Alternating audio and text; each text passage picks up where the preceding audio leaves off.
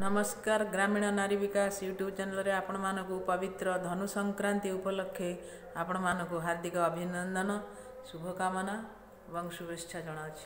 ଆଜି ସମଗ୍ର ଓଡ଼ିଶାରେ ଏହି ଦିନଟିକୁ ଧନୁ ସଂକ୍ରାନ୍ତି ରୂପେ ପୌଷ ମାସ ସଂକ୍ରାନ୍ତିକୁ ଧନୁ ସଂକ୍ରାନ୍ତି ରୂପେ ପାଳନ କରାଯାଇଥାଏ। ଏଥିରେ ଲକ୍ଷ୍ମୀ ନାରାୟଣଙ୍କର ପୂଜା ମଧ୍ୟ ଅନୁଷ୍ଠିତ ହୋଇଥାଏ। ଏହି ପୂଜାରେ ଲକ୍ଷ୍ମୀ ନାରାୟଣ ପୂଜା ପାଇଥାନ୍ତି। ତତ୍ସହିତ ଧନୁ ମୁଆଁ ମଧ୍ୟ କରାଯାଇ ଠାକୁରଙ୍କୁ ନୈବେଦ୍ୟ ଅର୍ପଣ କରାଯାଇଥାଏ। ଆପଣମାନେ ଦେଖାଯାଇ ଦେଖିପାରିବେ।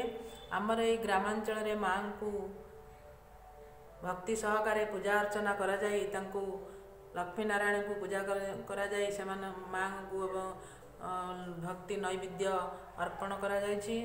ଏହା ସମଗ୍ର ଓଡ଼ିଶାରେ ଘରେ ଘରେ ପୁରପଲ୍ଲୀରେ ଏକ ବଡ଼ ଉତ୍ସବ। ସବୁ ଲକ୍ଷ୍ମୀ ନାରାୟଣ ପୂଜା ସମସ୍ତଙ୍କର ଘରେ ଘରେ ପ୍ରାୟ ସବୁ ଅନୁଷ୍ଠିତ ହୋଇଛି। ଆପଣମାନେ ଦେଖିପାରିବେ ଆମର ମଧ୍ୟ ଗ୍ରାମାଞ୍ଚଳରେ ଘରେ ଏହି ଲକ୍ଷ୍ମୀ ନାରାୟଣଙ୍କର ପୂଜା ମଧ୍ୟ ଅନୁଷ୍ଠିତ ହୋଇଛି। ଏହି ଉପଲକ୍ଷେ ଘରେ ଘରେ ମୁଆଁ ଛେନା ନଡ଼ିଆ କଦଳୀ ପଞ୍ଚାମୃତ ଦେଇ ନୈବେଦ୍ୟ ମାଆଙ୍କୁ ଏବଂ ନାରାୟଣଙ୍କୁ ପ୍ରଭୁ ନାରାୟଣଙ୍କୁ ଅର୍ପଣ କରାଯାଇଥାଏ। ଏହି ଦିନଟିକୁ ଧନୁ ସଂକ୍ରାନ୍ତି କୁହାଯାଏ। ଏହି ସଂକ୍ରାନ୍ତି ଦିନ ସମସ୍ତେ ଧନୁ ମୁଆଁ କରି ନିଜ ନିଜ ଭିତରେ ବଣ୍ଟନ କରିଥାନ୍ତି। ପୋଡ଼ ପିଠା ମଧ୍ୟ କରାଯାଇଥାଏ। ଆଜି ଆପଣମାନେ ଦେଖିପାରିବେ ମା ଲକ୍ଷ୍ମୀଙ୍କୁ ପୂଜା କରିବା ସହିତ ମହାପ୍ରଭୁଙ୍କୁ ମଧ୍ୟ ପୂଜା ଅର୍ଚ୍ଚନା କରାଯାଇ ଭକ୍ତି ନୈବେଦ୍ୟ ଅର୍ପଣ କରାଯାଇଛି। ଆପଣ ଦେଖିପାରିବେ କାଲି ଗଲା ଗୁରୁବାରର ଶେଷ ପାଳି ଗୁରୁବାର ସେରର ଶେଷ ପାଳି ଆଜି ହେଲା ଧନୁ ସଂକ୍ରାନ୍ତି ଏହି ଉପଲକ୍ଷେ ଆପଣମାନେ ଦେଖିପାରିବେ ଧନୁମୁଆ କଦଳୀ ଆପେଲ ନଡ଼ିଆ ଛେନା କଦଳୀ ପ୍ରଭୁଙ୍କୁ ଅର୍ପଣ କରାଯାଇଛି। ଭକ୍ତି ନୈବେଦ୍ୟ ଅର୍ପଣ କରାଯାଇଛି।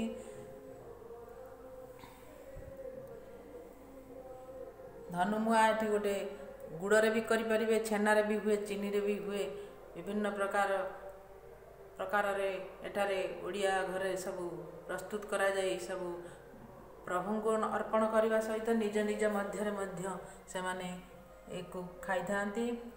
ଏହା ହେଉଛି ଏକ ମହାନ ପର୍ବ ଧନୁ ସଂକ୍ରାନ୍ତି। ଓଡ଼ିଶାର ବରଗଡ଼ରେ ମଧ୍ୟ ଧନୁଯାତ୍ରା ବି ମଧ୍ୟ ଏଇ ଦିନରେ ଆରମ୍ଭ କରାଯାଇଥାଏ କରାଯାଇଥାଏ। ଆପଣମାନେ ଦେଖିପାରିବେ ମାଆଙ୍କର ପୂଜା ଅର୍ଚ୍ଚନା। ଘରୋଇ ଭାବରେ ପୂଜା ଅର୍ଚ୍ଚନା କରାଯାଇ ଭକ୍ତି ନୈବେଦ୍ୟ ଅର୍ପଣ କରାଯାଉଛି।